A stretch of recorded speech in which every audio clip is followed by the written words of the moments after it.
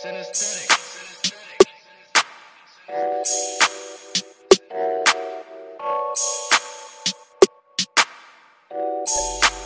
News, breaking news, everyday news on Prince Miller Entertainment TV. Today is the 1st of uh, July uh, 2022. So, guys, here's a quick, quick, quick update. And uh, yes, uh, Mary Bio's uh, judgment day in a case uh, she's accused of assaulting a former child minder has been set for July 27.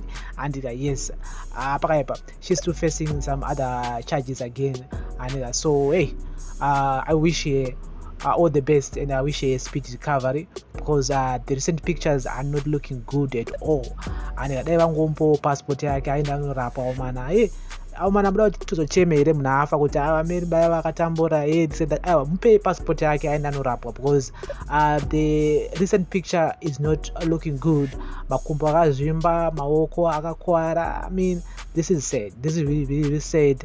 Dai vangombo passport yake aenda anorapwa and anoona maspecialist anokwanisa kumubatsira because the situation is bad and is really really bad. And so uh, also uh, today uh, munyaradzi chauraya who was recently trending on social media over allegations of abusing minor child appeared in court also today is uh, that's the gentleman um akaita mbiri pasocial media a few days ago. And uh, yes amatiti expose it on social media saying kuti aibatisa uh, mwana mudiki here mwana we, uh, yake chinhu chake inyaya yakanetsa pasocial media. So the man appeared uh, today uh, facing uh, domestic violence charges. So which means that uh, he was facing other charges beside that charge. Yekubatisa mwana chinhu chake and so gonna keep you guys in the loop uh, on this story on zimex tv just go and like and follow zimex tv zimbabwe. And so uh, panyaya yameri mbaiwa yes panyaya yameri mbaiwa know, uh, dai vangompo passport yake back. Uh, they need to give a passport back.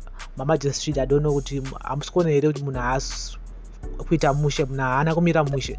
You know you cannot continue with the trial kana munhu asamira mushe like that.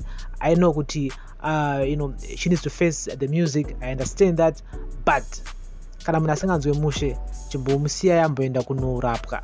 Andi amboenda kunorapwa uzodzoka afit momutonga nyaya yake yanenge anzi akapara yacho. Andika so we hope that uh, they will give you a passport and wish you all the best. So we're gonna keep you guys in the loop here on july 27 pachaitwa judgment yacho regarding tunyaya yekuti anzi akarowa here maid. Aichengeta vana.